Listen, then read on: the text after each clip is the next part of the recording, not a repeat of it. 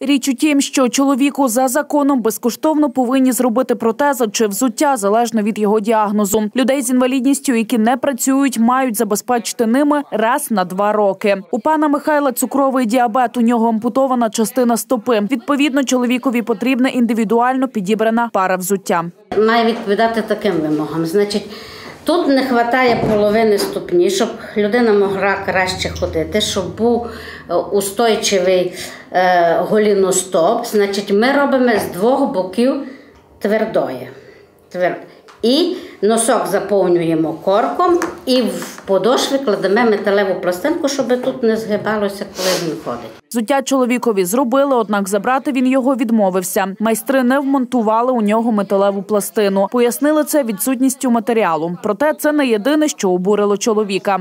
У мене було заказ на виготовлення е, літнього та зимнього взуття, яке мені положено по одній парі на два роки. Коли мені показали то взуття, яке мені запропонували і сказали, що вони його виготовили спеціально для мене, я задав питання, щоб мені просто пояснили, якої, ну, яке взуття з них зимнє, яке літнє. Я в них різниці не бачив. Однак лікар пояснила нам, чому пану Михайлу не зробили зимове взуття із хутром. Для других пацієнтів ми використовуємо штучне хутро.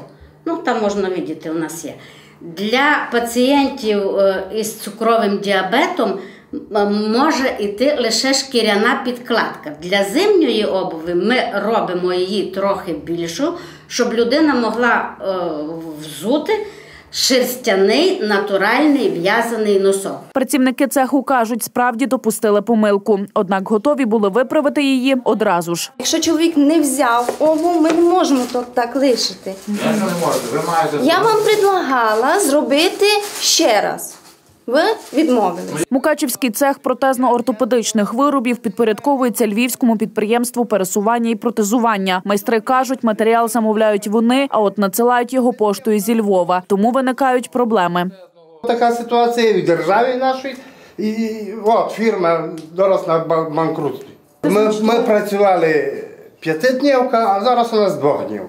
Наразі у чоловіка один вихід – забрати уже вдосконалене взуття. Бо на ці дві пари держава кошти уже перерахувала, тому наступного разу отримати їх він зможе тільки через два роки. А от ходити у звичайних кросівках точно не вихід, каже лікар. Бо через це у нього на нозі можуть утворитися виразки. Підприємство ж у свою чергу стало заручником ситуації. Вони практично банкрути.